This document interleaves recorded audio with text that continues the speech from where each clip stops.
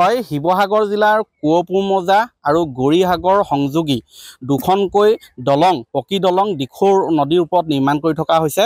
কিন্তু অতি পৰিতাপৰ বিষয় যে চিৰপীয়া চিৰিপুৰীয়া ঘাটত যিখন পকী দলং তথা আৰ চি চি ব্ৰিজ নিৰ্মাণ কৰি থকা হৈছে। সেই দলংখন অতি লেহেমীয়া গতিত নিৰ্মাণ কৰি থকাৰ ফলতে বৰ্তমান অতি বিপদসংকুল অৱস্থালৈ গতি কৰিছে। দলংখন আধা নিৰ্মাণ কৰি থকা অৱস্থাতে ভাগি যোৱাৰ উপক্ৰম হৈছে। মই দেখুৱাইছোঁ দিখৌ নদী আজি হঠাৎ বৃদ্ধি হোৱাৰ ফলত ইয়াত যি আচলতে দলংখন নিৰ্মাণ হৈ আছিলে সেই দলংখনৰ চিৰপুৰীয়া ঘাটৰ এই দলং পকী দলংখনৰ এটা অংশ এটা মূৰে সম্পূৰ্ণ বহি যায় আৰু বহি গৈছে আৰু ইয়াৰ যি মাজ অংশ সেয়াত সম্পূৰ্ণ ভাঁজ পৰি ধেনুভুৰীয়া হৈ পৰিছে।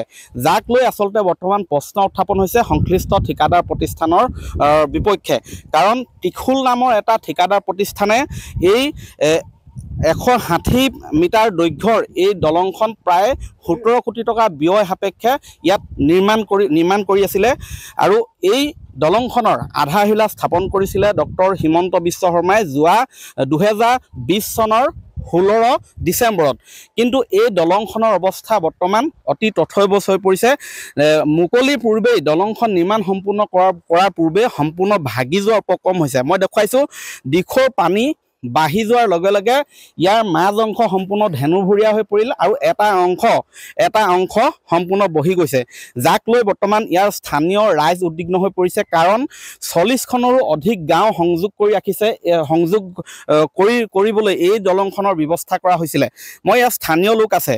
আচলতে বাৰিষা আহি আছে সকলোৱে আমি জানো যি ধৰণৰ ব্যৱস্থা ল'ব লাগিছিলে কাৰণ পানী বাঢ়িব দিখৌ পানী কি ধৰণে বাঢ়ে সকলোৱে জানে কিন্তু সঠিক ব্যৱস্থা নল'লে যাৰ। বাবে সঠিক ব্যৱস্থা নল'লে এইটো ব্যৱস্থা আগতে আমি যেনেকৈ ল'ব লাগে যেনেকৈ কামটো কৰিব লাগে তেনেকৈ কৰি নিদিয়াৰ কাৰণে আমাৰ আজি এইটো প্ৰলয় হৈছে। সেই কামটো আমাৰ আগতে কৰি দিব লাগিছিলে। যিটো সোনকালে কৰি দিব লাগে সেইটো কাৰ- কৰি দিয়া নাই। গতিকেলৈ আজি এই কামটো এনেকুৱা অৱহেলা হোৱাৰ কাৰণেই আজি এই পৰ্যায় পাইছেগৈ। আৰুতো এতিয়া পুনৰ নিৰ্মাণ কৰিব লাগিব সেইটো পুনৰ নিৰ্মাণ কৰিব লাগিব। নিৰ্মাণটো এইটো এইটো হেৰি পৰ্যায়ত নল'ব এতিয়া। এইটো সম্পূৰ্ণ ভাঙি পেলাব লাগিব।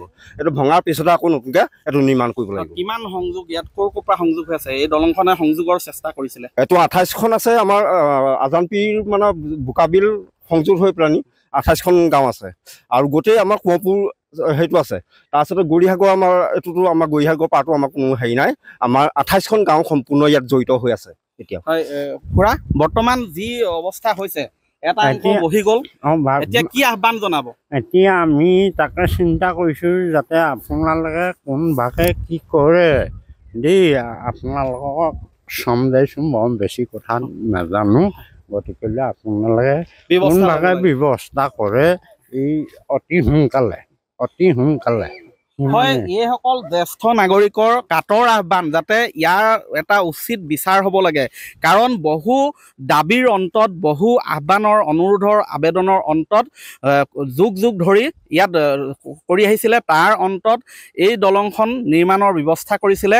ত্ৰিশুল নামৰ এটা প্ৰতিষ্ঠানে নিৰ্মাণ কৰিছিলে আৰু সোতৰ কোটি টকীয়া এই দলংখন কিন্তু নিৰ্মাণ সম্পূৰ্ণ হোৱাৰ পূৰ্বে এটা বৃহৎ অংশ বহি যোৱাত উদ্বিগ্ন হৈ পৰিছে স্থানীয় ৰাইজ আৰু সংশ্লিষ্ট ঠিকাদাৰ প্ৰতিষ্ঠানে বাৰিষাৰ সময়ত কি ধৰণৰ ব্যৱস্থা কিয় সঠিক পদক্ষেপ নল'লে এনেধৰণৰ অৱস্থা হ'বলৈ পালে তাৰো এটা উচিত তদন্তৰ দাবী তুলিছে।